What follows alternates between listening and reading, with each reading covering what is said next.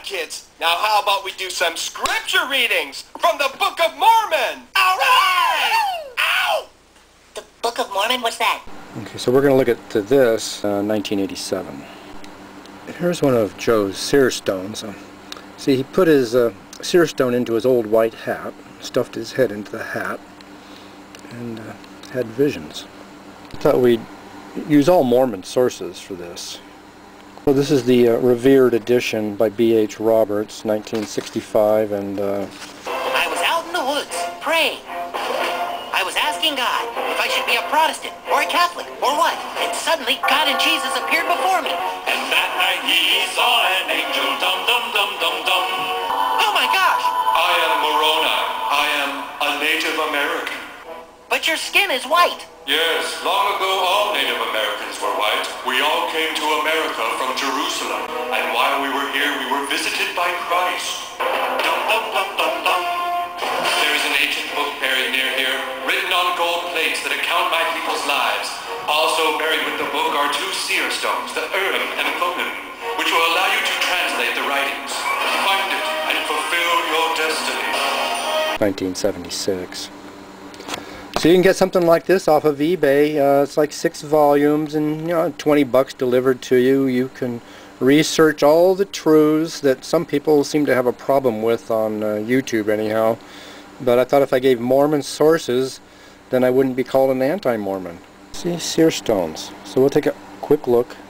I dug around all morning where the angel had told me to look. Hmm. Inside the stone box, I found the magical seer stones. Under that, I found four gold plates written in strange writing. This must be the gospel that Jesus told the Nephites. Well, they were the most amazing things I'd ever gazed upon. I must translate what's written on the plates into English, so you can all read it. Dum dum dum dum dum. I thought we'd use all Mormon sources for this. So the Urim and Thummim were described by his mom, uh, Lucy Mack, uh, the Munchausen of Mormonism.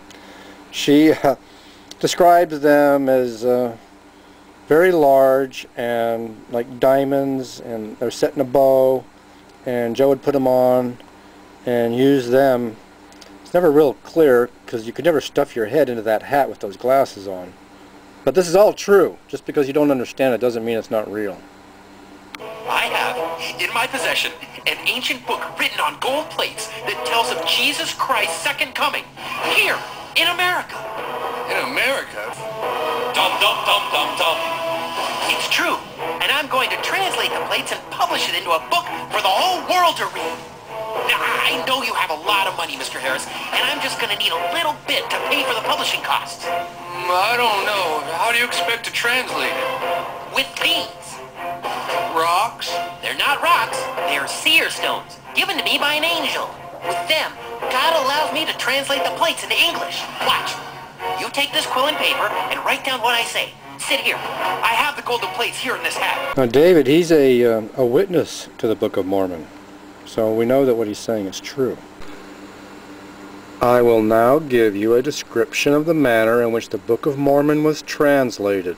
Joseph Smith would put the seer stone into a hat and put his face in the hat, drawing it closely around his face to exclude the light, and in the darkness the spiritual light would shine.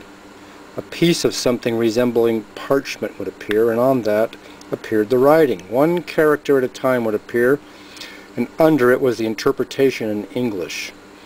Brother Joseph would read off the English to Oliver Cowdery, who was this principal scribe, and when it was written down and repeated to Brother Joseph to see if it was correct, then it would disappear, and another character with the interpretation would appear. Thus the Book of Mormon was translated by the gift and power of God, and not by any power of man.